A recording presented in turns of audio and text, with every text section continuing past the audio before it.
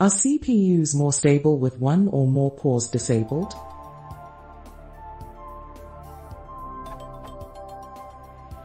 I was reading this article, and I couldn't help noticing this.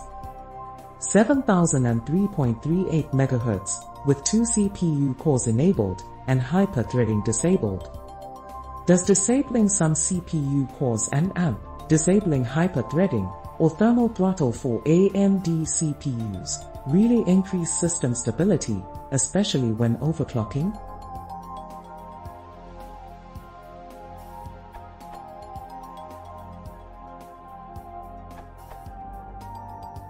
The act described in your article involved increasing the core voltage by a huge degree.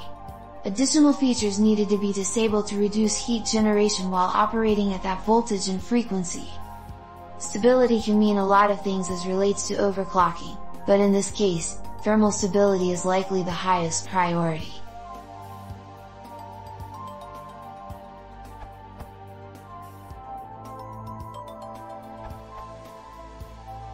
The first thing that comes to mind, specifically with CPU cores, is that disabling these features would make it easier to deal with the extreme heat that the cores would be producing. In addition, disabling hyper-threading should theoretically help bring down the temperature, which at those speeds and voltage is probably his number one concern.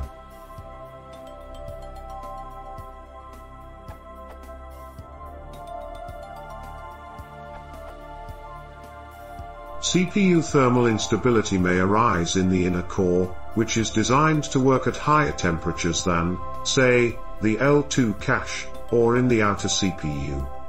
If the CPU was a thermal superconductor it would be all at the same temperature and this would not matter. Normally heat is removed from the whole surface covered by the heatsink, and is generated mostly in the cores and in lesser measure in the ancillary hardware depending on the power consumption rate per unit of volume, or of surface, since the CPU architecture is basically flat.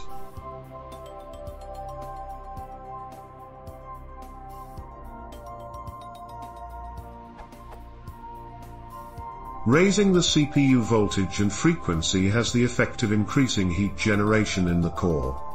If this increase, minus the removed heat at steady state, drives the temperature too high for the core, then it does not matter how many cores you disable, those still enabled will crash. Or fail due to electromigration after some time. If the temperature is core safe, though, you observe that the temperature outside the core is still driven upwards, as excess heat seeps from the core to the fringe, in red and yellow in the above picture.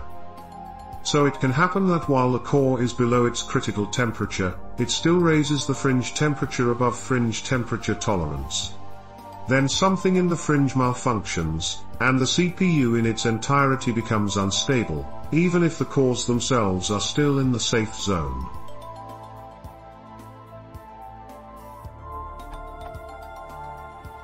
Since heat in the fringe comes, also, from all the cores, hyperthreading sections, and so on, disabling those features reduces this heat, and may keep the fringe stable.